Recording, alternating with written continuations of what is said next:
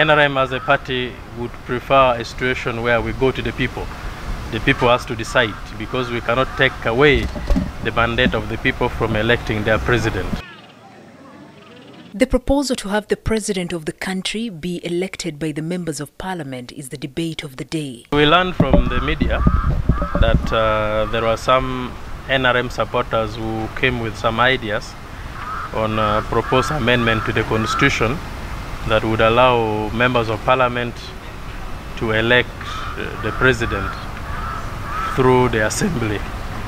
We have not yet got a copy of the petition, we have not yet got a copy of the proposal.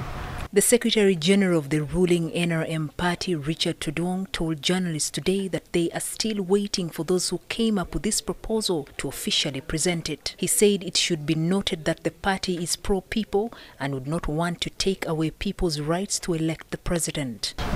It is always very good that the people elect the president for the country. So we, we believe that uh, those suggestions that are being proposed by a few members of the party if they bring to the attention of the party secretariat, we shall uh, advise them accordingly on how such proposals that touches on the core of the constitution should have been proposed.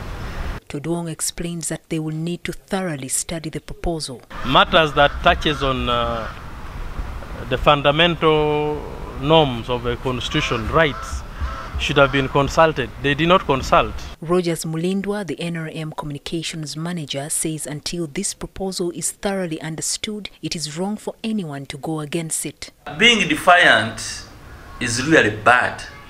And um, even with NRM, we shouldn't be seen to be opposing every idea from the opposition. Some ideas could be good. It's only unfortunate that the only thing that the opposition has emphasized day in, day out is Museveni must go. He also reiterated that it will be the party's top organ to decide on it. As soon as the Secretary General gets it, the Secretary General will convene the top management, and the top management will further discuss that document. In the proposed system, there would no longer be presidential elections for all Ugandans to determine who becomes president. Instead, the leader of the party with the majority parliamentary seats would automatically become the president. This proposal, which has continued to attract public debate, was proposed by a group of NRM party candidates who lost in the previous parliamentary elections. They hope to present the proposal to President Yoweri Museveni, who doubles as the chairperson of the NRM party. Report by Jaliat Namuwaya for the news.